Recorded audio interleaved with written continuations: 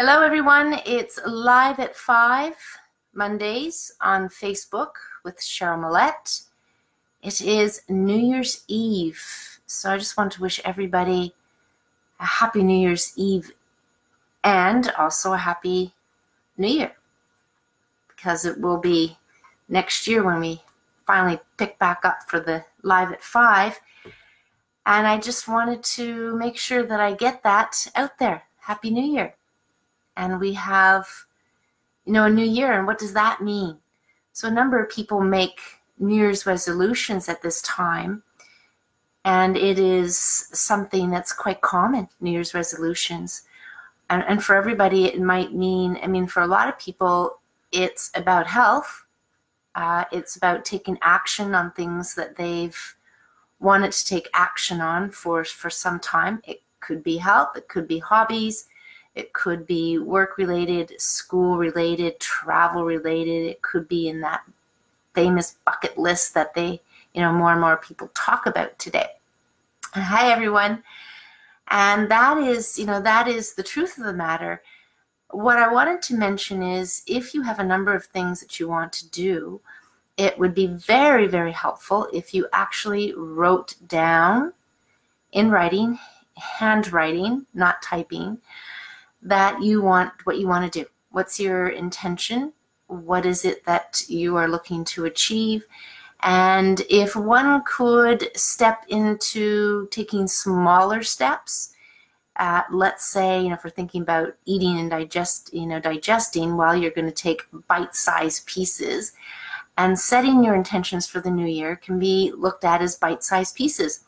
You know, what can you when you when you have your list of things, you know what can you actually do you know this month? So take the five or ten things and go okay i'm going to do this one thing this month and make sure it's doable. Even if you go part way instead of saying uh, i want to work out five times a week what about just once a week? Even just for the first week and then twice a week. And that's new year's new year's resolution will be you know it's it's in your control to be able to do those things. That's always something to remember. It's in your control to do those things. Well, let's get to health things because there's a couple of things I wanted to bring up and some of the work that I've been uh, studying, uh, somewhat to do with the gut, but you know, primarily it's looking at what things have been said in various books. And here's a book, it's called uh, Gulp by Mary Roach and was recommended by my husband's cousin.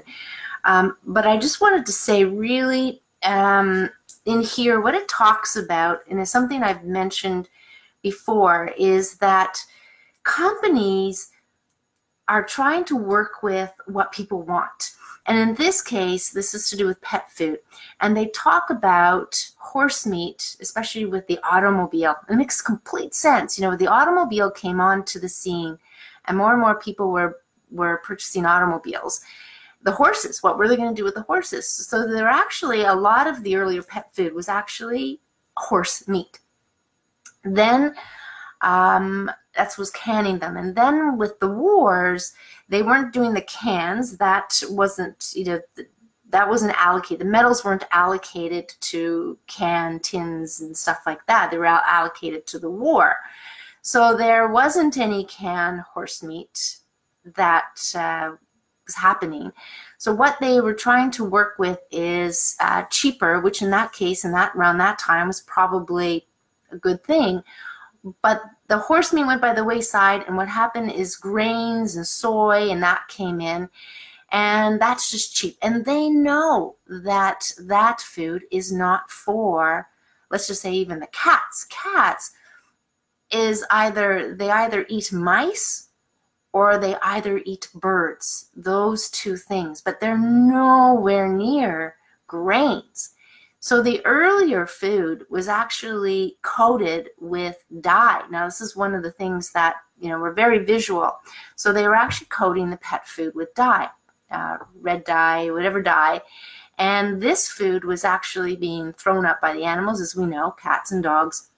They might eat too much, dogs in the way, and they may throw up. Well, that wasn't good for the carpets, good for the floors. So that was a very bad idea. And they stopped doing that. But still today, they're using a lot of the cheap grains in the food. And what I learned in the book that I was just reading, Gulp, was that they actually coat the food with some sort of um, palliative flavor, like a liver and organs. And they talk very much about the organs being the best part, you know, the best part, the most nutritious part. And of course, they were using this as to like coat the food. Now, that brings me to telling you about brown sugar and white sugar, because quite often people will say that brown sugar is much healthier, much more healthier. Now, we do have variety of sugars now, mm, some that are uh, just, you know, organic sugar cane, and we do. But just the typical sugar granules that we will get in bags and stuff, that's just coated with a bit of molasses. So having had, you know, a sugar refinery tour and asking about what's the difference between white and brown sugar, uh, they said, mm, yeah, in a, in a big vat, you know, about this much molasses syrup. So what happens is they make the granulars of sugar, whatever size they want, and they put in little molasses. And as it's being whipped around in a centrifugal machine, it's being coated with the brown sugar. Now, we might think that it's going all the way through. It's just the sugar, it's brown sugar, and then it's being crystallized, but that's not the case. And the only reason why I kind of bring this all up is because, yes, in conversing, um, reading and conversing with people, there is what we think exists, but there's there is that that's actually happening. And that might have to do with what the client, and the client is not necessarily the pet owners, but the pet food makers who want to make it cheaper, to make it more affordable or whatever it is, maybe on their budget for whatever reason, they do that. And so that's what I want to talk about there. The other thing I wanted to go into, and hello, more and more people, uh, I wanted to actually talk about something that came to my awareness around uh, let's call it fermented oils. Now, some of you might be for, uh, very familiar with cod liver oil. And then cod liver oil in the early studies that I did, probably eight, nine, ten years ago, to do with Weston Price, they talked more about the fish oils. Now, the fish oils were what they needed to do was to do it immediately so it wouldn't go rancid.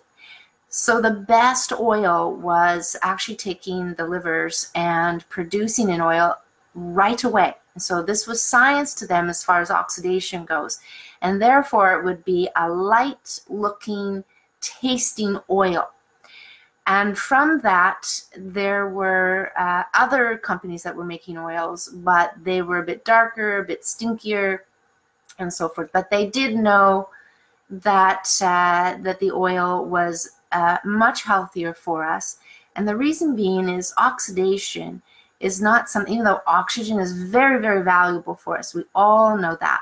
But it's almost like if you have to look at two things, right? There's the, um, you know, there's the good and the bad, or the right or the wrong, or the duality, those kind of things. And so oxidation uh, will be very helpful in nature as we think about breaking down nature, breaking down foods when composting, breaking down metals. So oxidation is not necessarily a bad thing at all. And of course, oxidating our cells, and mean, oxygen is going to be very, very good. But when you have a food that in its wholesome and vibrancy, um, a food that way, then we want to consume it sooner. So this is what I wanted to bring up was actually there's something else that came into play. It's a fermented cod liver oil. And this fermented cod liver oil, if some of you are aware of it, was touted as being the best thing. And Weston A. Price is still tooting that. And I was trying to pull in all my science and and you know logic into that thinking you know oxidation of oils is never a good thing to ferment an oil would be oxidated oil, and that's not a good thing. But ferment in, in the way of sugar and grapes and wine and stuff like that. Not saying that alcohol is, you know, very good for us, but it didn't make any logical sense that we'd want to have that. And when I asked friends who tasted, I've never tasted it. They said it was god awful. Okay, well that's a second thing. Unless it's like bitters, if we're thinking about Chinese meds or something like that, that's a signal right there when it comes to oils. When it tastes so bad and so rancid, first is the smell. You can always tell from oils. I talked about the testing olive oils to see if it's a really good olive oil, and, and it was the smell, not the taste. But if something's tasting really bad, before you, you know, smell it and it smells kind of good, but I mean, if you put it in your mouth before you get a good whiff of it, that should tell you too that it's oxidized.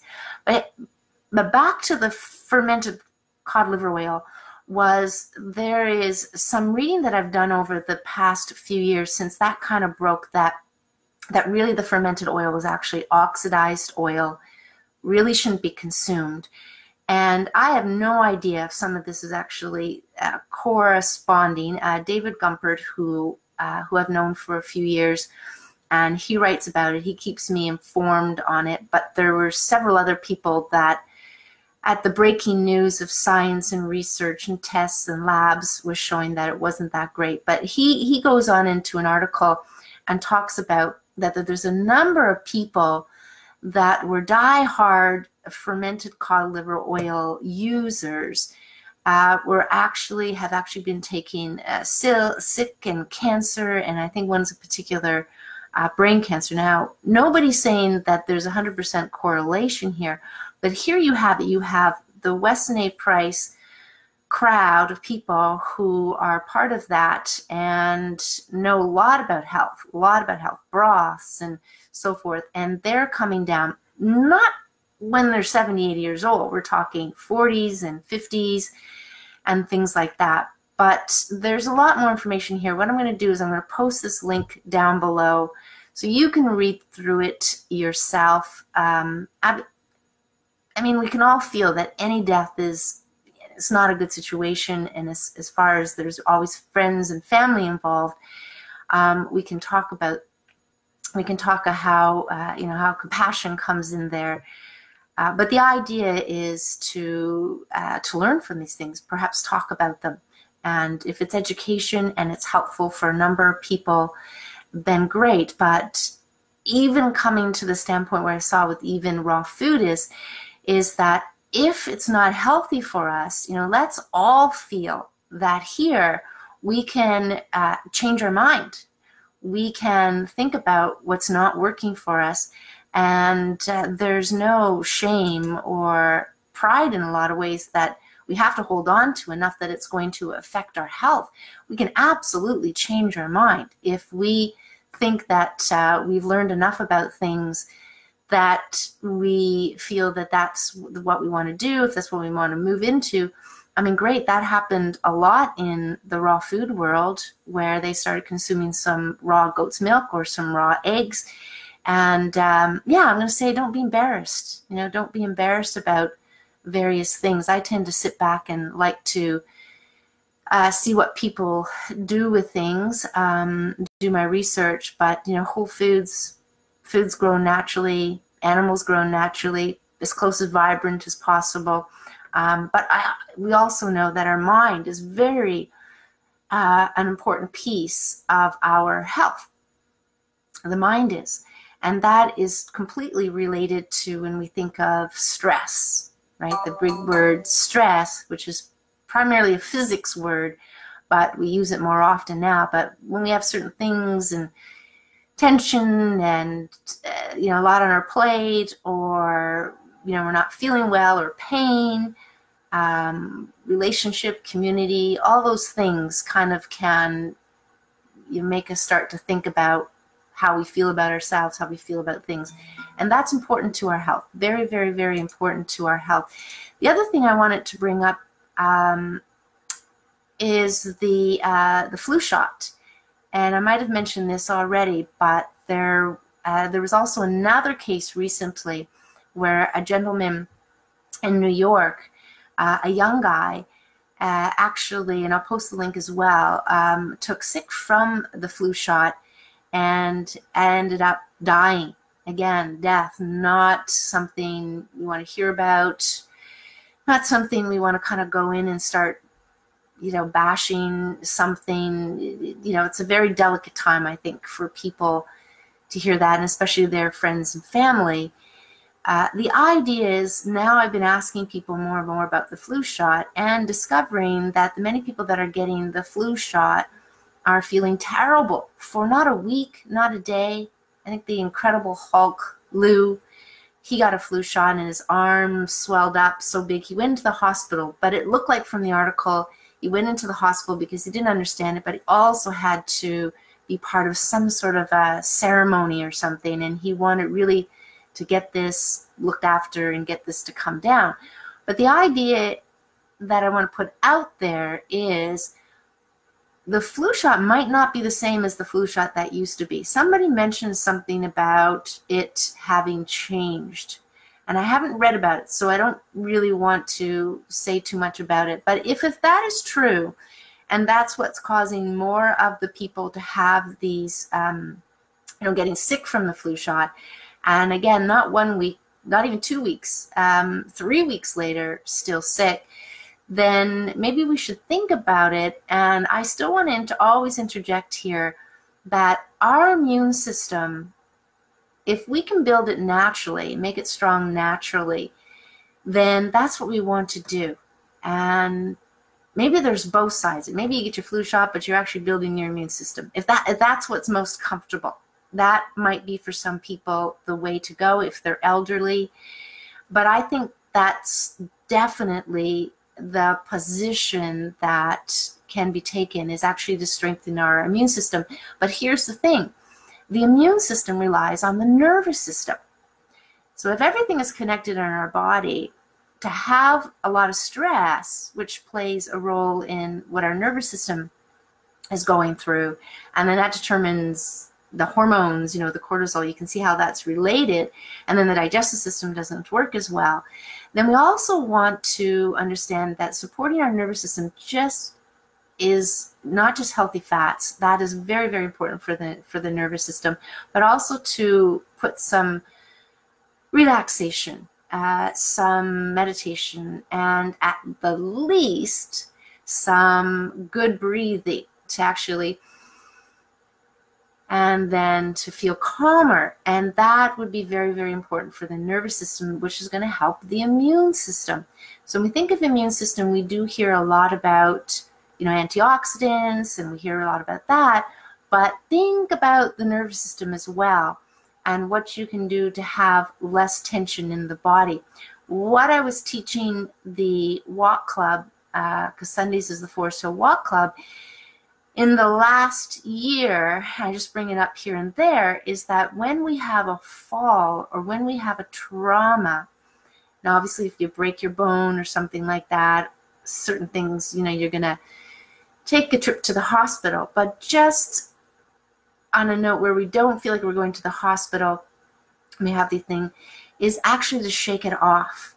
So if you can imagine when you fall down and you trip, and what's happening in the body is actually everything is tensing up, right? You're just tensing. And that might be helpful for the fall. But I remember learning in skiing is just relax your body and you won't be as sore.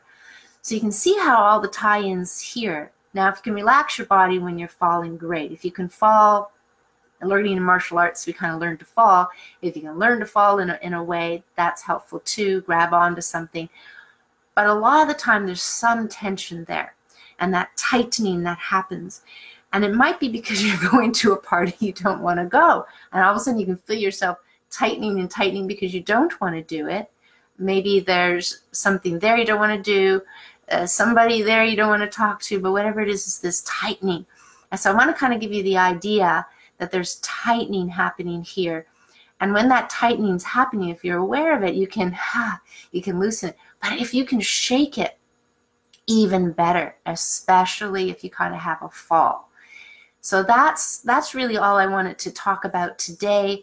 was that our food might not be what you think it is because they're coating it with chemicals, uh, flavoring. I think it was International Flavors was a company when I worked for food processing. Huge multi-million billion dollar industry flavors. And what they're doing is coating our food, our convenience food. Um, I think there was an example of Cheetos, you know, so some of the snack food. If you were to taste it without the coating, that's there, it would taste like sawdust. Like it would taste like nothing, which is why when you chew these convenience food, even as I was talking about the gums, the flavor goes away. You don't have the natural flavor there as you would if you were chewing whole foods. So that's something to remember there. So our food might not be what you think it is. And yes, still absolutely organic, whole foods, um, some raw foods, but then we get into always chewing, right? Chewing our food properly. I wanted to, yes, bring up the fermented uh, cod liver oil, but most importantly, fermented or rancid oils as well. So, rancid oils are going to be not good for your body. End of story. You do not want to do rancid oils. The other thing was the flu shot. So, consider looking up what the flu shot contains. Ask about what the flu shot contains. If you're getting the flu shot, you should know what you're putting into your body. Um, and then also New Year's resolutions too, as well. Uh, you want to have an accountability partner. That's what I'm going to do this year. Um, some of the changes that I want to do, I want to get back into stair climbing. I want to get back into a few things. So I'm going to do that. And feel free to put your I guess your one, two, or three things that you want to do in the next week or so down below, live or five, if you want the whole group here to be, you know, accountability that way, feel free. Or find somebody that you can have just have accountability call, five to 10 minutes uh, a week. You pick the date for each other, and that's kind of important there. Anyway, that's what I wanted to kind of speak about today. And I want to wish everybody the best of health in 2019 definitely I encourage or motivate to have at least one, if not two, if not three, healthy things that you want to kind of bring in throughout the year, whether they're not right away, but somewhere, uh, somewhere in there. Um, I can think of chewing and drinking enough water as two very important things. If that's something that you're not doing well already, which is enough water and the chewing, and of course it takes practice. But Happy New Year, everyone. I hope uh, you have a wonderful evening, whether that be a quiet, cozy evening by yourself reading a good book and or going out with some friends. Um, you know, we're having dinner here, not here, but at a neighbor's, uh, or doing a whole whoopla of champagne and big parties as they have them. So no matter how you're celebrating your New Year's Eve, John and Renee and Arnie and Tracy and Debbie and Robin, however you are celebrating your New Year's Eve, know that we are together, we're a community, no one needs to feel alone. I'm going to wish you a happy, happy new year, the best of health in the new year and beyond, and take care. Until next Monday, have a wonderful week. Bye for now.